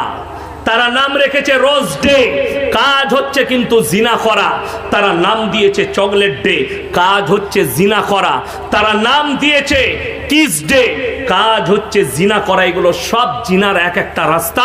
তারা খুলে দিয়েছে যাতে মুসলমানরা বুঝতেই না পারে, অথচ জিনাই লিপ্ত হয়। এমন একটা যুগ আসবে, পৃথিবীতে হারাম আউলাদে ভরে যাবে, যেটাকে আমরা রুখে দাঁড়াতে পারব না। আজকে মলবিরা আছে, মেহনত করছে, আমাদেরকে বলতে শুনতে পাচ্ছেন, আল্লাহ রসুলের হাদিস, আখরি জামানায় এক শ্রেণির এমন হুজুর বের হবে, যাদের দ্বারা ইসলাম বিকৃত হবে এবং মানুষ তাদের দ্বারা পাপেতে লিপ্ত হবে। তারাই হবে জাহান্নামের প্রথম খোরাক। কোরআন খুলে, আপনি বলছেন, মলবি চিনতে পাচ্ছি না। কালকের জলসায় একজন এসে আমার সঙ্গে দেখা করল। ভদ্র মানুষ, ভালোবাসে আমাকে। নেতা আমাকে বলছে, হুজুর, নিজেদের মধ্যে আপনারা মিটিয়ে নিতে পারেন এক জায়গায় বসে। আপনি এর বিরুদ্ধে বলছেন, ও আর বিরুদ্ধে বলছে। আমি বললাম, রসুলের হাদিস মিথ্যা হয়ে যাবে। কথাটা সবাই শুনে যান, সবারই কানে ভরছি আমি। যারা বলছেন, এক জায়গায় বসে আপনারা মিটি নিয়ে একটা প্ল্যাটফর্মে আসুন, পৃথিবীর মলবিরা। নবীজির হাদিসকে মিথ্যা বলা হবে, আল্লাহর রসুলের হাদিস, আমার উম্মতরা তিয়াত্তরটা দলে বিভক্ত হয়ে পড়বে। এই হাদিস সত্য হবে, তিয়াত্তরটা দল হবে, তবে কেয়ামত সংগঠিত হবে, এটা লেখে নিয়ে যান কাগজ থাকে। এটাকে আপনাকে বিশ্বাস রাখতে হবে। যদি বলেন, কোন মলবিটা চিনব কি করে? আপনাদের এখানে সবজির হাট আছে না নাই? আছে?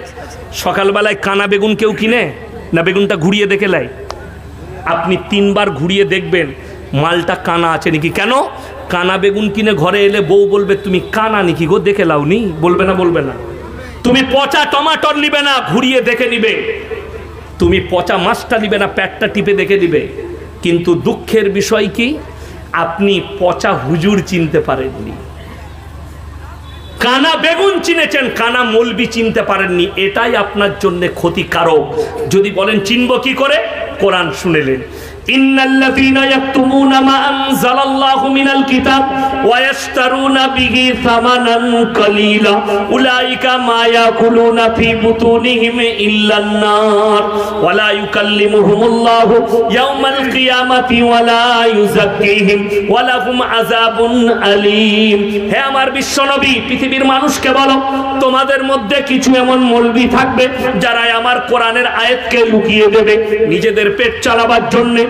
তারা নিজেদের পেটেতে আগুন ছাড়ায় আর কিছু ভরে না।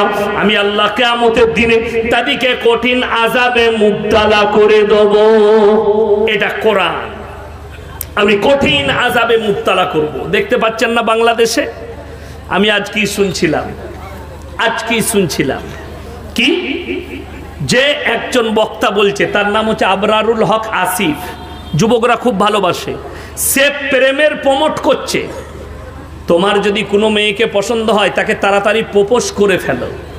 প্রপোজ মানে আই লাভ ইউ আমি তোমাকে ভালোবাসি। হারামখোর এরাই জিনার প্রমোট করছে। এই মলবি কথা ধরা পড়বে কেমতের দিনে। ইসলামে পোপোস শব্দটাই হারাম। কি বললাম? পোপোস শব্দটাই হারাম। যদি বলেন কোনো যুবক, যুবকরা, শুনে যাও, যুবতীরা যুবতীর যদি কোনো ছেলেকে পছন্দ হয়, যুবকের যদি কোনো ছেলেকে পছন্দ মেয়েকে পছন্দ হয়, নবীজির সুন্নত তরিকা হচ্ছে তার বাড়িতে রিস্তা পাঠাও। কোনো লোককে দিয়ে আপনার মেয়েকে অমুকের ছেলের পছন্দ, আপনি যদি বিয়ে দিতেন তাহলে ভালো হতো। কথাটা বুঝতে পারেন যদি বলেন, প্রমাণ দেন, আপনারা কতটা জানেন জানি না, এটা হাদিস বলছি। নবীজি সাল্লাহ সাল্লামের মেয়ে ফাতেমাতু জাহরা রাদি আল্লাহ তালা আনহাকে প্রথম বিবাহের প্রস্তাব যিনি দিয়েছিলেন তিনি হচ্ছেন হাজরতে উসমানে গনি রাদি আল্লাহ তালা তিনি বললেন, ইয়া রসুল আল্লাহ আমি আপনার মেয়ে ফাতেমাকে বিবাহ করতে চাই। নবীজি উত্তর দিলেন, তুমি ফাতেমার থেকে ভালো বিবি পাবে, ফাতেমা তোমার থেকে ভালো স্বামী পাবে। আপনারা জানেন, মালদা ডিস্ট্রিক্ট আপনাদের সঙ্গে লেগে আছে, লেগে নাই? হ্যাঁ মালদা ডিস্ট্রিক্টে আপনাদের এখানে কি আছে জানি না, ধারে বউ পাওয়া যায়। ধারে বউ শুনেন না হ্যাঁ হ্যাঁ। আমি গত বছরে মালদা এক জায়গায় জলসা করছি। এ আপনাদের মতো অল্প স্বল্প লোক নয়, এক হাজার, দু হাজার নয়। কুড়ি হাজারের মতো শ্রোতা ছিল। আদায়ের জলসা নয়। বিরাট প্যান্ডেল, কয়েক লক্ষ টাকার প্যান্ডেল। তো বললে, স্টেজের থেকেও বড়। বললে, হুজুর, চারটা বিয়ে পড়াবো। আলহামদুলিল্লাহ, বিয়ে পড়িলাও তারপরে আমি বক্তব্য দেবো। আমি স্টেজে বসে রইলাম, সব নিজের নিজের ইমাম এনেছে, বিয়ে পড়াবে। বলছে আশি হাজার টাকা দেলমহর, দুশো টাকা লগত উনআশি হাজার, আটশো টাকা ধার, যা বুঝো করো। হয়ে গেল বিয়ে। আমি দেখলাম বেচারারা চলে যাবে নাকি ঠিক না, আমি বলিনি। আমি বললাম, বাবা, আমি সেদিনে ট্রেনে এসছিলাম। ট্রেনে। তো আমি বললাম, বাবা, আমি ট্রেনে এসছি ভাই, আমার কাছে পয়সা সেরকম নাই। আটশো টাকা বাড়ি থেকে নিয়ে বেরিয়েছিলাম, দুশো টাকা ট্রেনে খাওয়া দাওয়া করেছি। ছশো টাকা আছে, দুশো টাকায় বউ পাওয়া যাচ্ছে, ঘরে একটা বউ আছে, ছশো টাকায় আর তিনটে বউ লুবো, চারটা জায়গা আছে ধারে বউ নাউজবিল্লা বলেন। যদি বলেন, ধারে বউ লিয়া যাবে না। না। শুনেলেন আমার কাছে, রসুল আকরম সাল্লাহ আলি সাল্লাম হাজরত আলীকে বললেন, আলী তুমি মহারানা নিয়ে এসো আমার মেয়ের সঙ্গে তোমার বিবাহ দেওয়া হবে। আলীর কাছে পয়সা ছিল না। হাজরতে আলী রাজি আল্লাহ আনহু নিজের যুদ্ধের জামাটা মার্কেটে বেচতে গেছেন। সেই জামাটাও কিনেছেন কে? হাজরতে উসমানে গনি রাদি আল্লাহ আনহু। সেই টাকার দ্বারা দেলমোহর মিটিয়েছে। আর আমাদের দেশে এক লাখ টাকা দেলমোহর, দুশো টাকা লগদ বাকি? বলে আটানব্বই, নিরানব্বই হাজার আটশো টাকা। ওটা বউকে বলবে, আমি ক্ষমা করে দিলাম। কে বলল তোমাকে? পাঁচ হাজার টাকা দেলমোহর করুন কিন্তু লগত করবেন। এখন আবার লোকের একটা কায়দা শুরু করেছে আমাদেরকে মৌলবিদিকে বাদ দিয়ে। কি? বাদ জোহর। সোনার জিনিস দিচ্ছে। আপনাদের দিকে দেয়? সোনার জিনিস নতুন কায়দা। দিয়ে দিলেন, কিসে? এটা দেল মোহরের বদলে। আপনাদের মহারানা সম্পর্কে জানা আছে? কোন মহিলাকে যদি কেউ বিবাহ করে দেল মোহর দেয়, মহারানা দেয় সেটা সম্পর্কে জিজ্ঞেস করার অধিকার আর তোমার থাকবে না। সেই টাকা সে মাদ্রাসায় দান করতে পারে, নিজের পেছনে খরচ করতে পারে, মা বাবাকে দিতে পারে, স্বামীকে দিতে পারে, দান করে দিতে পারে, গরিবকে বেটে দিতে পারে, এটার সম্পর্কে জিজ্ঞেস করতে পাবে না। আমার কাছে একটা ডিভোর্স হচ্ছিল, ছাড় হচ্ছে। আমাকে ডেকেছে, সেখানে সব লেনদেন হয়ে গেছে, এরপর সই সাবুত করবে। ছেলের বাপ বলছে যে, আমি যে দেল মোহর দিলাম কুড়ি হাজার টাকা আমরা তুমি মুখে উচ্চারণ কি করে করলে আমার সামনে? ওই টাকা তো ফেরত পাবে না। সব পাবে, যা লেনদেন করেছ, আংটি দিয়েছ, সোনা দিয়েছ দেলমোহর ফেরত হয় না। এটা মাথায় রাখবেন সবাই। যদি কেউ বলে দেলমোহর ফেরত দিতে হবে, এর থেকে বড় পাপের কাজ কিছু নেই। একটা নারী তার মা বাপ ছেড়ে তোমার কাছে ইজ্জতকে বিলীন করেছে, তার তার শরীরকে তোমার জন্য কোরবান করেছে, তার বদলে তুমি তাকে ডিভোর্স দিলে, আর তোমার কোনো, তার কোনো অধিকার নাই তোমার প্রতি, ওই দেলমোহর হচ্ছে তার অধিকার। বড় কষ্ট লাগে, দুঃখ লাগে, আপনি ধারে বউ কিনছেন, ধারে দিচ্ছে কেন? মলবিদিকে লুব না। একটাই বিবাহর অনুষ্ঠান হলে এই মলবিদিকে ডাকুন যে ইসলামী তরিকায় যেন আমার বিবাহ অনুষ্ঠান হয়, সুন্নত তরিকায় হয়। আপনি থাকুন বেইমান কাফেরদের আখলাকগুলো ঢুকে গেছে কেন? আল্লাহর হাদিস স্কুলে দেখেলেন, রসুলের জামানায় মসজিদের ভেতরে নিকা হয়েছে, মসজিদের ভেতরে বিচার হয়েছে। আজকে নিকা হচ্ছে প্যান্ডেলের ভেতরে যত হারাম কাজ আমাদেরকে অ্যাটাক করে ফেলেছে। আমরা বেরোতে পারছি না। কেন? বেইমান কাফেররা ঢুকিয়েছে। বেইমান কাফেররা। আমার বর্তমানে দেখিয়ে দেবো, মুখে এক মুষ্টি দাড়ি, পাঁচ অক্ত নামাজ পড়ে হারাম খোর বাজনার সাথে ঘুরছে বিয়ে, মুসলিমদের বিয়ে। ইমামকে বলুন যে, হাজার টাকা বিয়ে পড়ানো দে, তখন বলবে, হাজার টাকা কি করতে লাগবে বে? পাঁচশো টাকায় হবে না। পাঁচশো টাকা, হাজার টাকা দিতে গায়ে বাজে, অথচ হারাম কর পাঁচ হাজার, দশ হাজার খরচ করে ড্যান্স করছে, ডিজে বাজাচ্ছে। এদের লজ্জা সরম আছে। যে বিয়েতে হারাম কাজ হবে লেখে নিয়ে যান, তাদের দাম্পত্য জীবন সুখী হতে পারে তাদের নেক সন্তান হতেই পারে না। তাদের দাম্পত্য জীবন সুখী হবে না। হারাম কাজ থেকে নিজেদিকে বাঁচাবো, জোরে বলুন ইনশাল্লাহ বেইমান কাফেররা কীভাবে প্রমোট হবে শুনেলেন? আজকে যে আমি জলসা করতে এসেছি, আমাকে যদি জিজ্ঞেস করেন, আপনার পরিচয় কি? বর্তমান জেলায় বাড়ি। আমি আমার বাপের নাম বলব না মায়ের? কথা বলে না? বাবা আমি বলব, আমি মল্লা শওকত আলী মাজাহিরির ছেলে। আমার বাবাও বক্তা, অনেকে জানে। তো, এইখানে যদি আমি ভাইকে জিজ্ঞেস করি, আপনি কে? ই মায়ের নাম বলবে না বাপের? বাপের। যে আমি অমুকের সন্তান, বাবা যদি মারাও যায়, তাও বলবে, আমি অমুক পাড়ার, অমুক গ্রামের মৃত অমুকের ছেলে, ঠিক কিনা? মায়ের নাম কেউ লিবে না। কেন? আল্লাহ তালা ইনসানের যে পরিচয় ঘটিয়েছেন, ওটা বাপের দ্বারা, জোরে বলুন সুবাহান আল্লাহ মায়ের দ্বারা নয়। বাপের দ্বারা। আপনাদের এখানে ছাগল নেই? ছাগলের ছানা হলে পাঁঠার ছানা বলেন না ছাগলের ছাগলের। গায়ের বাচ্চা হলে ষাঁড়ের বাচ্চা বলেন না গায়ের? গায়ের। কেন? আল্লাহ জানোয়ারের পরিচয় ঘটিয়েছে মায়ের দ্বারা। একটা জানোয়ার মাঠে যাবে, পাঁচটা পাঁঠা তার সঙ্গে মিলামিশা করতে পারে। কার বীর্য থেকে বাচ্চা হয়েছে, এটা আমার আল্লাহ ছাড়া কেউ জানে না। একটা গাই মাঠে চড়তে যাবে, পাঁচটা ষাঁড় মিলামিশা করবে।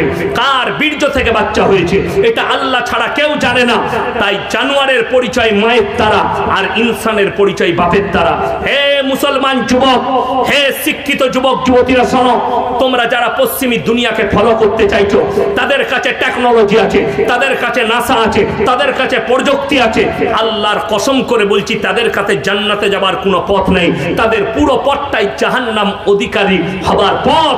শুনে নাও, London, America German, Japan, Australia, Brazil New Zealand আপনার যতগুলো বেইমান কাফের দেশ আছে, তারা তাদের পার্লামেন্টে পাস করিয়েছে। এরপর থেকে যে যুবক বাঁচবে, সে যদি চায় মায়ের পরিচয়ও বাঁচতে পারবে। কেন? তারা একটা জায়গার নাম দিয়েছে রিলেশনশিপ সেই জিনিসটার নাম দিয়েছে রিলেশনশিপ এখন যেমন যারা কলেজে পড়ে তারা জানে, আপনারা কতদূর জানেন জানি না, এই বাবাজিরা কলেজে যাই না। আমি অনেক কলেজ স্টুডেন্টের সঙ্গে আলোচনা করে দেখেছি, বর্তমানে কলেজে স্টুডেন্টরা একদিকে বসে, মেয়েরা একদিকে বসে, এই সিস্টেম নেই। কলেজের ভেতরে প্রেম আর প্রেমিকা এক জায়গায় বসে। বর্তমানের কথা বলছি। এত অবস্থা খারাপ। যদি বলেন, প্রফেসররা কিছু বলবেন, না, ছাত্র সংগঠন আছে। আপনারা জানেন চাইনা টেকনোলজিতে কেন পৃথিবীতে পৃথিবীর মধ্যে এগিয়ে গেল? তার কারণ, চাইনাতে ছাত্র সংগঠন নাই। ছাত্ররা আন্দোলন করেছিল জিনপিং সরকার। তাদের উপরে বুলডোজার চালিয়ে দিয়েছিল আন্দোলন করার কারণে। আমেরিকা বললে, এই, তুমি ছাত্র দিকে মেরেছ। বলে চুপ কর। এটা আমার ঘরের ব্যাপার। এইখানে ছাত্র আন্দোলন করতে দেবো না, আর ছাত্র সংগঠন হবে না। তারা টেকনোলজিতে এগিয়েছে, আর আমাদের দেশে ছাত্র সংগঠন হওয়ার কারণে আর জি করে এই ঘটনা ঘটেছে। ছাত্র সংগঠন হওয়ার কারণে যাদবপুর বিশ্ববিদ্যালয়ের ক্যাম্পে আপনার সেখানকার হোস্টেলে একটা ছাত্র আত্মহত্যা করে মারা গেল। মিডিয়াওয়ালারা খবর দিচ্ছে, মিডিয়াওয়ালারা ছাপছে যে সেখানকার বাথরুম থেকে নিরোদের প্যাকেট পাওয়া গেছে, সেখানকার বাথরুম থেকে মদের বোতল পাওয়া গেছে, তাদের বাথরুম থেকে স্যাক্সের ট্যাবলেট পাওয়া গেছে। আমি আপনাকে চ্যালেঞ্জ ছুড়লাম আপনার এই থানায় যতগুলো মাদ্রাসা আছে, একটা মাদ্রাসার আপনার বাথরুম থেকে মদের বোতল দেখিয়ে দেন স্যাক্সের ট্যাবলেট দেখিয়ে দেন। আমি মলবি শওকত সাহেবের ছেলে মলবি ইয়াসিন। জীবনে আর সমাজের বুকে বক্তব্য দেবো না, এটাই আমার শেষ বক্তব্য হবে। আর জীবনে আমি কোথাও কথা বলব না, আমি আমার মাদ্রাসায় বসে ক্লাস করব। একটা পাবেন না কেন? কোরআন আমরা শিক্ষা দিয়েছি, কোরআন সামনে নামানো আছে। সুরাই বনি ইসরাইল, ওয়ালা তাকরাবুজ জিনা, ইন্নাহু কানা ফাহিশা, ওয়া সাআ সাবিলা। হে নবী, বলে দাও তোমার উম্মত উম্মতিকে ব্যবিচার করা, জিনা করা তো দূরের কথা। যে রাস্তায় হয়, সেই রাস্তার ধারে পাশে তোমরা যাতায়াত করবে না। আজকে তারা রাম দিয়েছে relationship mobile Facebook YouTube Twitter যাদের কাছে আছে, খুলে দেখুন। এক সপ্তাহ আগে যদিও ফুটবলারটার নাম আমি করব না, একটা দামি ফুটবলার কোন দেশের সেটা জানি না। সে ফেসবুকে পোস্ট করেছে, সর্বপ্রথম তার গার্লফ্রেন্ড। বিবাহিত বউ নয়, গার্লফ্রেন্ড। তার পেটে বাচ্চা আছে, সে তার ফেসবুকে ফটো দিয়ে লিখেছে যে আমি গর্ভবতী। তারপরে সেই ফুটবলার লিখছে, আমার সন্তানের নাম হবে এটা। পরবর্তীতে এই মেয়েটা আবার পোস্ট করছে, এই সন্তান তোমার নয়, তোমার সঙ্গে রিলেশনশিপ ছাড়ার পরে আমি অন্য জনের সঙ্গে মিলামিশা করেছিলাম। এই সন্তানটা তার, জোরে বলুন নাউজবিল্লা হারাম আওলাদগুলো প্রমোট পাবে, যেদিনে মুসলমান অ্যাকসেপ্ট করবে যে হ্যাঁ এই মলবিরা কিছুই জানে না, আমরা রিলেশনশিপে থাকব। রিলেশনশিপে থেকে যে বাচ্চাটা হবে, ওই বাচ্চাটা হারাম আওলাদ। আমাদের সমাজে সব থেকে বড় পাপ যেটা ছুটে এসছে, সেটার নাম পরকিয়া। লোকের বউকে নিয়ে পালিয়ে যাওয়া, লোকের বউয়ের সঙ্গে সম্পর্ক করা, তার একটাই কারণ, আপনার বাড়িতে পর্দা নেই, আপনার দরজায় পর্দা নেই, আপনার ফ্যামিলিতে পর্দা নেই, আপনার স্ত্রীর কাছে পর্দা নেই। আর কোরআন বলেছে অদ্রিব খুমুরিহীন না আলা জুনুবিহীন হে নারী, তুমি পর্দা নির্ধারিত করো। তোমরা কোনোদিন ধর্ষিত হবে না, তোমরা কোনোদিন লাঞ্ছিত হবে না। এটাই ইসলাম বলছি, কোরআন বলেছে, অথচ আপনি ভেবে দেখুন আপনার বাড়িতে, ফ্যামিলিতে পর্দা নাই। আমাদের দরজাগুলো খোলা। সকালবেলায় পাড়ার ছেলে এসে বলছে, কই গো, ভাবি বলে ঢুকে পড়ল, যা বুঝে পড়ল হ্যাঁ? ইয়াসিন সাহেবের সঙ্গে বন্ধুত্ব হয়েছে? আমাকে বলছেন, মলি সাহেব, আমার বাড়িতে একদিন আসুন না, দাওয়াত দিলেন, গেলাম, ঘরে বসে করালেন। আপনার বউকে ডাকছেন, আরে ইয়াসিন ভাই, আমার বন্ধু হয় তুমি এসো তো। দিয়ে আমার সঙ্গে গল্প। আবার একদিন এসছি আরে ইয়াসিন ভাই, আপনি ভাবির সাথে গল্প করেন, আমি একটু গিয়ে নাস্তা নিয়ে আসি। তো এইরকম যদি আমি এক সপ্তাহ গল্প করতে পাই, তোর বউকে তো এমনি নিয়ে পালাবো আমি। কথাটা বুঝতে পারেননি? যদি বলেন, কেন?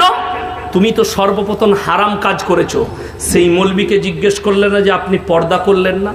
একটা পর নারী আর পর পুরুষ, নির্জনে থাকা হারাম। তৃতীয় নম্বর যে হাজিরি দিবে, তার নাম হচ্ছে শয়তান। তার নাম শয়তান। ওই জন্য আমি বলে যাচ্ছি, বাড়িতে পর্দা আনবেন, সকলে জোরে বলুন ইনশাল্লাহ আমাদের সমাজের পর্দা কি জানেন? মসজিদে নামাজ পড়তে যাচ্ছে, আবে আমার মতো পরেজগার কেউ নেই। আমি খুব ইসলাম মেনে চলি, হাদিস মেনে চলি। সকালবেলায় উঠে বউকে নিয়ে কোথায় যাবে? ডাল খোলা যাবে মোটর সাইকেলে করে। ফজরের নামাজ পড়েছে, পেছনে বউ বসে আছে। নিজের শরীরটা গোটাই ঢাকা, আর বইয়ের পেটু বেরিয়ে আছে পিটু বেরিয়ে আছে, আর মাথাও বেরিয়ে আছে। ঠিক বললাম না ভুল বললাম? তুমি কি করে নিজেকে মুমিন বলছো? অথচ যাকে ঢাকা দরকার ছিল তাকে খুলে দিয়েছ। আর তোমার হুঁটোটা বেরিয়ে গেলেও দোষ ছিল না। কিন্তু তুমি নিজেকে ঢেকে রেখেছো। এইখানে ইনি আর আমি ক্লোজ বন্ধু। আচ্ছা ক্লোজ বন্ধু হলে ইয়ার কি হয় না হয় না মাজাক? আমি পর্দা বুঝাচ্ছি। ক্লোজ বন্ধু মানে মাজাক হবে। ইনাকে যদি আমি বলি, ভাই, ইয়ার কি মেরে? তোমার বইয়ের ব্লাউজের সাইজ কত? ঝগড়া হবে না হবে না? কথা বলে না? আপনারা হাসছেন? ইনার আর আমার মধ্যে দ্বন্দ্ব হয়ে গেল। ইনি বলবেন, এত বড় কথা ইয়াসিন ভাই বললেন, আমার সঙ্গে সম্পর্ক থাকবে না। হে মুসলমান যুবক, ভেবে দেখো তুমি, সামান্য খালি তোমার বন্ধু বলেছে তোমার বইয়ের ব্লাউজের সাইজ কত, সম্পর্ক ছিন্ন করে দিলে। আর তোমার বিবি বাজারে গেছে, বিবিকে বাজারে ঠেলে দিয়েছ। একটা পর পুরুষ বসে আছে দোকানে, সেখানে গিয়ে তোমার বিবি নিজের মুখে বলছে, দাদা, আমার একটা চল্লিশ সাইজের ব্লাউজ দাও তো, তখন তোকে লজ্জা লাগে না। কথাটা বুঝাতে পারলাম, পর্দা। তোমার বিবি, আরে মুর্শিদাবাদে রোজার মাসে আমি দু তিনটে জলসা করি। মুর্শিদাবাদে জলসায় গেছি, তো বেলডাঙ্গায় একজন মুফতি সাহেব আছে, জার্জিস হোসেন কাশ্মী, আমার বন্ধু। তো আমি তাকে বললাম, ভাই, আপনার মাদ্রাসায় ইফতারি করব। বলে, চলে আসুন। বিরাট আয়োজন করেছে, ইফতারি করলাম। আমি বললাম, ভাই, জামা কাপড় কিনা হয় নাই, পঁচিশে রমজান হয়ে গেছে, তো আমাকে জামা কাপড় কিনতে হবে, কোথায় যাব? একটা বড় দোকানের নাম করল। আমি গেলাম, ঢুকেই দেখছি আল্লাহ সব খালা, আমি একা খালি খালু। আমি কি বিপদ করলাম? আমাকে দোকানি বলছে, আ, হুজুর, যান না, আপনি দাঁড়ান। আমি লজ্জায় একটা মেয়ের জামা নিয়ে বেরিয়ে পালিয়ে এলাম। দুঃখটা কোথায় জানেন? যেটা বললাম ওটাই। ব্লাউজ কিনছে একটা পর পুরুষ বসে আছে, ছায়া কিনছে একটা পর পুরুষ বসে আছে। আর স্বামীকে বলছে, কই গো, আমার শাড়ি ছিঁড়ে গেছে, একটা শাড়ি এনে দিবে না? ব্লাউজ ছিঁড়ে গেছে, ই হারাম খোর চায়ের দোকানে তিন ঘণ্টা আড্ডা আর বউকে বলছে, তুই চলে যা না, পয়সা নিয়ে, টোটো করে নিয়ে চলে আয়। তো তোর বউ পালাবে না, তা মলবির বউ পালাবে? আপনাদের কি মনে হচ্ছে, আমি এসছি আজকে চারশো সাত কিলোমিটার আমার বাড়ি থেকে, কত বললাম? চারশো সাত কিলোমিটার। আমি বাড়িতে, ফ্যামিলিতে সময় দিই না কি দিই না। যেদিন থেকে আপনার ওই আগস্ট থেকে জলসা শুরু হয়েছে, রোজার আগের দিন পর্যন্ত একদিনও খালি নেই। তাইলে কি আমার বিবি ছিঁড়া জামা পরে থাকবে না? ন্যাং তো থাকবে বাড়িতে। এই জলসায় যেতে যেতে রাস্তায় বিবির যে প্রয়োজন, আলু, পেঁয়াজ থেকে সবজি সব গাড়িতে চাপিয়ে নিয়ে রাতের বেলায় পৌঁছে দিই, যাতে তাকে না ছুটতে হয়। বাড়িতে পৌঁছে দিই তারপরও আমাদের বিবি, আমি চ্যালেঞ্জ ছুড়ে বলে গেলাম, বর্তমান টাউনে যেমন আপনারা মোবাইলে দেখেছেন, আমাকে চিনে না এমন কেউ নেই। অমুসলিম ভাইরাও চিনে। আমার বাজারে কেউ যদি বলে দিতে পারে, ইয়াসিন সাহেবের স্ত্রী পর্দায় এসে বোরকা পরে একটা রুমাল কিনেছে। আমি জীবনে আর সমাজের বুকে বক্তব্য দেবো না, আপনাদের কাছে বাইক ক্যামেরা ক্ষমা চেয়ে যাব। কেউ যদি প্রমাণ দিতে পারে। আরে, বড় দুঃখের বিষয়। আমরা তো আমাদের বিবিকে পর্দাই দিতে পারলাম না আর আপনি জান্নাতের আশা করে বসে আছেন। বেশিরভাগ মহিলা জাহান নামে যাবে খালি বেপর্দা হওয়ার কারণে। আজকে ছোট পোশাক পরছে আর বলছে, এটা মডেলিং যদি তোমার ছোট পোশাকটা মডেলিং হয়, জেনে রেখে দিবে, তোমার এই ডালখোলা থানার সব থেকে বড় মডেলিং হচ্ছে ডালখোলার কুত্তাগুলো যারা কোনো পোশাকই পরে না। আপনারা ভেবে দেখুন, পুরুষের জন্যে টাকনুর ওপরে কাপড় পরা কি সুন্নত? যে পুরুষ টাকনুর নিচে এইখানে কাপড় পরবে, তার ওই অঙ্গগুলো আল্লাহ জাহান্নামের আগুনে জ্বালাবেন। নারীদের জন্য টাকনুর নিচে কাপড় পরতে হবে। কিন্তু বেইমান কাফেররা দেখেছেন, এখন যে কাপড়গুলো বার করছে, সালোয়ারগুলো এইখানে। ঠিক বললাম না ভুল বললাম? এরকম জায়গায় থাকছে মেয়েদের। আর কিছু কিছু হারামখোর মেয়ে আছে, পায়ে আবার কার বেঁধেছে কার? বেজে লজর লাগবে না, ওইটাই তো শিরিক। কার বানলে যদি লজর না লাগে, তাহলে দড়ি বেঁধে দে আর মরবি না। গলায় বান, কষ্টের বিষয়। আপনি শিরকের ওপরে বিশ্বাস করেন একটা কার? অথচ পা বেরিয়েছে। ওই পা দেখে যে সমস্ত যুবকদের মনেতে জিনা জাগবে, সমস্ত জিনা করার পাপ ওই মহিলার ওপরে যাবে। আপনি আপনার বিবিকে পর্দায় নিয়ে আসুন, সবাই আনবেন, জোরে বলুন ইনশাল্লাহ বিবিদিকে পর্দা দেন।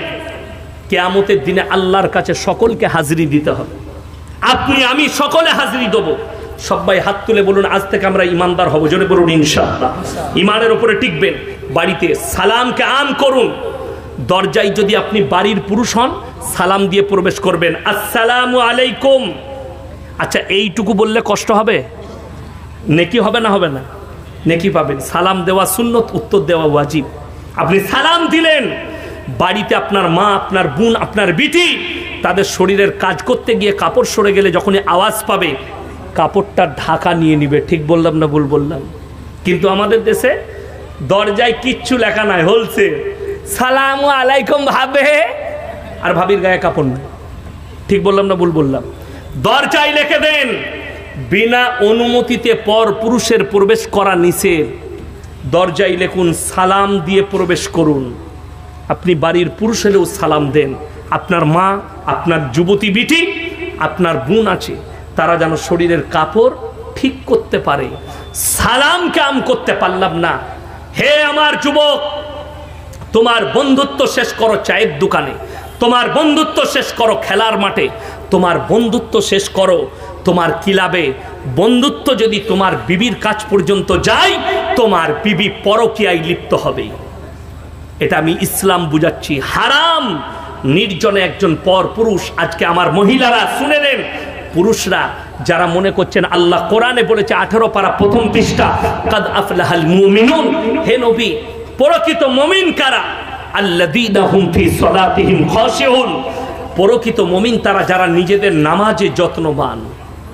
নামাজ পড়েন, মনোযোগ থাকে না। ঠিক বললাম না ভুল বললাম? নামাজের নিয়ত বেঁধেছে মন কিন্তু টাকায় পড়ে আছে না হেলে বাজারে। আমাদের দেশে তো বেশিরভাগ নামাজি যখন ইকামত শুরু হয় তখন ঢুকে। বাজারে দোকান, আল্লাহ আকবার আল্লাহ আকবার সাদু আল্লাহ ইলাহির সাদ তখন ছুটছে। আর মনে পড়ছে না দোকানে তালা মেরেছি না মারিনি। তো নামাজটা কত সুন্দর হবে? সমস্ত হাজত সেরে। ওই জন্যে কোরআনে আছে, ইয়া ইযা ইয়াউমিল ইলা যিকরিল্লাহি ওয়া যারুল বাই যখন তোমাদিকে জুম্মার জন্য, নামাজের জন্য ডাক দেওয়া হবে, বেচা কিনা বন্ধ করে দাও, ব্যবসা বাণিজ্য বন্ধ করো। আর নামাজের মধ্যে চলে এসো। যারা হজ করতে গেছেন তারা জানেন, মক্কা মদিনায় আজান হলে দোকানিদের দোকান খোলা পড়ে থাকে, তারা মসজিদে প্রবেশ করে যায়। আর আমাদের দেশে, তবে এই আমলটা আপনি করতে যাবেন না। যদি মনে করেন ইয়াসিন ভাই বলে গেছে, দোকান পড়ে থাক, আগে আমি নামাজ পড়ব। ঘুরে এসে দেখবেন দুটি চানাচুরু নাই, কেন? আমাদের দেশে সব আউলিয়া। ঠিক বললাম না ভুল বললাম?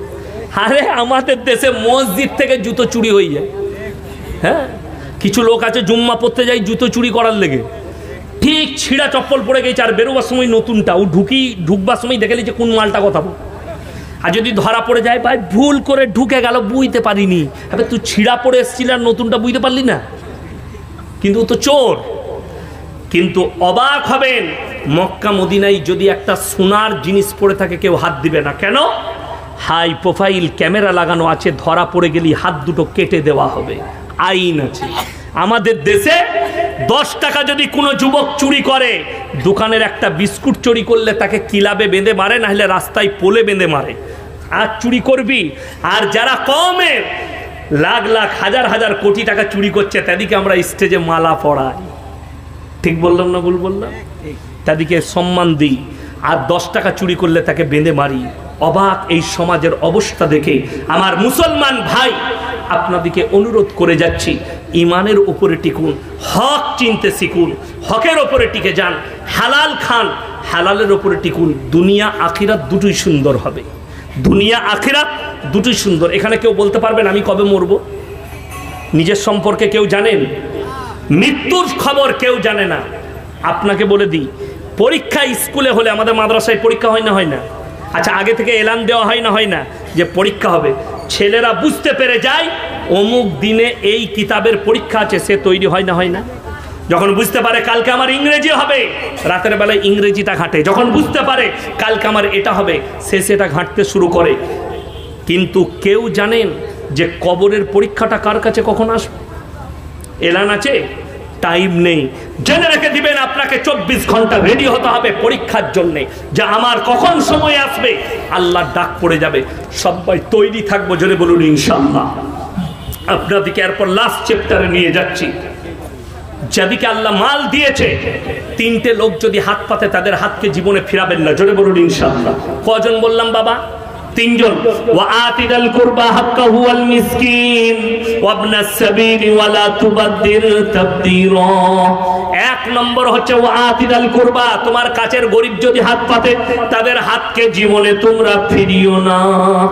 কেউ যদি এক টাকা দান করেন, মনে মনে ভাববেন, আল্লাহ, তুমি আমাকে দেনেওয়ালা বানিয়েছো, আমাকে চাহনেওয়ালা বানাও নি ও আতিদাল কুরবা ওয়াল ইয়াতামা ওয়াল মাসাকিন। এতিম আর মিসকিন যদি হাত পাতে তাদের হাতকে ফিরিও না। এই মাদ্রাসায় যে তালবিলিমরা পড়াশোনা করছে, এটা এতিম মিসকিন না, এতিম মিসকিন নয় বাবা। এতিম মিসকিন গরিব গুরবরা আছে। আর মুসাফির যদি তোমাদের কাছে হাত পাতে, তাদের হাতকে ফিরিও না। আজকের এই মজমায় সব থেকে বড় মুসাফিরকে? আমি। চারশো কিলোমিটার রাস্তা এসেছি। আমার ভাই, এই তিনজন যদি হাত পাতে, তাদের হাতকে ফিরিও না। কোরআন কত পারা? তিরিশ পারা কোরআন। আমার ভাই নবীজি সাল্লাহ আলি সাল্লাম বললেন, জাকিরা, গচ্ছিত সম্পদ। কেয়ামতের দিনে মানুষ কানবে, আমি যদি আরও কিছু টাকা দান করতাম, আমার জন্য মঙ্গল হতো। আমি খালি বলব, তিরিশ জন আল্লাহর বান্দা কে কে আছেন? লগত পাঁচশো করে টাকা কোরআনের জন্য দিবেন। টাকা না থাকলে ফোন পেতে দিয়ে যান, যদি কারও ফোন পেতে থাকে, লগত পাঁচশো করে বলেছি। তিরিশ জন ভাই। মাশাল্লাহ বাবা মা মারা গেছে, ভাই একটা বিসমিল্লা করল। তাড়াতাড়ি উঠে আসুন, তিরিশ জন আল্লাহর বান্দা। তিরিশটা হলেই আমি একটা গজল শোনাবো, যদিও আমি গজল জানি না, একটা শুনিয়ে দেবো আজকে ইনশাল্লাহ তিরিশ জন আল্লাহর বান্দা কে কে আছেন? মাত্র একটা করে কোরআনের দাম পাঁচশো টাকা। যদি টাকা না থাকে, এখানে ফোন পে আছে ফোন পেতে আপনারা টাকা দিয়ে যান। কে কে আছেন? তাড়াতাড়ি আসুন ইনশাল্লাহ মাত্র পাঁচশো করে। এই দেখেন, একজন মা দুটো রূপোর চাঁদির বালা দিয়েছে। আল্লাহ দানকে কবুল করুক নেক নিয়তকে আল্লাহ পুরো করুক মাশাল্লাহ জাজাক আল্লাহ দেখেন আর একজন ভাই দুটো। মাশাল্লাহ এই তো একটা কচি কি আমার কাকু মাশাল্লাহ কাকু মারা গেছে পাঁচতলা ওপর থেকে আল্লাহ উনাকে জান্নাতি করুক বলুন আমিন। আল্লাহ এই বাচ্চার হায়াতে বরকত দাও। চারজন হয়ে গেল মাশাল্লাহ পাঁচজন ভাই। জাজাক আল্লাহ ছজন। জাজাকাল্লাহ, সাতজন। ভাই, আমি তিরিশটা চেয়েছি কোরআন শরীফের পয়সা। কে কে আছেন? কোন আল্লাহর বান্দা আছেন? চলে যাবেন না, মাত্র পাঁচশো করে। আল্লাহর হাবিব সাল্লাহ আলি সাল্লাম মক্কা নগরীতে এলান করেছেন। ওমা ইউকরিদুল্লাহ কারদান হাসানা। আল্লাহর রাস্তায় কে কি কারদে হাসানা দিবে বলো? আল্লাহর রাস্তায় কে কি দান করবে বলো? আল্লাহ নবী সাহাবিরা নিজেদের জান, মালের কোরবানি দিয়েছেন। নিজেদের সব কিছুর কোরবানি দিয়েছেন। আজকে জানেন নয় মাশাল্লাহ আরও একজন ভাই দিয়ে গেলেন। আটজন হয়েছে। মাশাল্লাহ আরও একজন ভাই নজন ভাই জন হলো। জন জাজাকাল্লাহ এগারো জন মাশাল্লাহ বারো জন।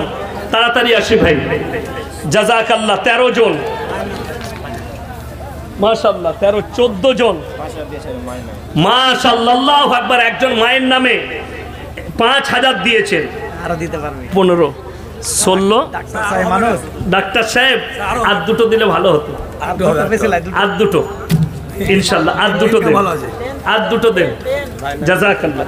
মাশাল্লাহ আরও একজন হাজার টাকা। জাজাকাল্লাহ। আসুন ভাই মাশাল্লাহ।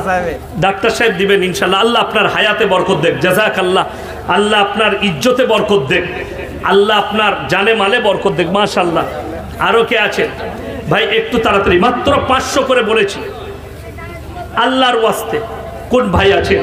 মাত্র পাঁচশো করে। মায়েদের মধ্যে যদি কেউ থাকেন, আমার কোনো মা, আমার কোনো বোন, যে এই শেষ সময়ে সোনার যদি কানের নাকমাচি, নাকের নাকমাচি খুলে দেন, কিংবা কেউ যদি কানের দেন, কেউ বা রূপর কোনো জিনিস দেন, একজন মা দুটো বালা খুলে দিয়েছে ওনার জুড়ে হবার জন্য যদি কোনো মা থাকেন, এই শেষ সময়ে এই মাদ্রাসা, কোরআনের শিক্ষা, এতিম আর মিসকিনদের জন্যে